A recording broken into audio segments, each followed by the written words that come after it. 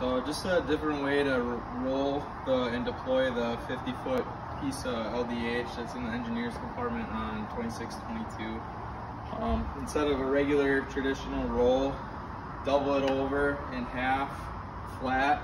Start with the top coupling directly behind the bottom company coupling. As you roll, it's gonna push it forward. Just go ahead and keep feeding that slack up. Eventually at the end, the top coupling will be ahead of it. That way you can bring it back, flip the bottom one up, and it'll kind of lock that in together there. And then you can grab it by the bottom coupling, you can grab both, lift it up, put it in there. In order to deploy it, it's as simple as pulling it down.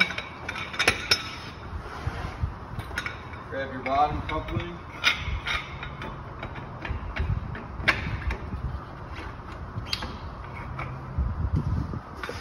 take the one that's left on the top and just walk it out.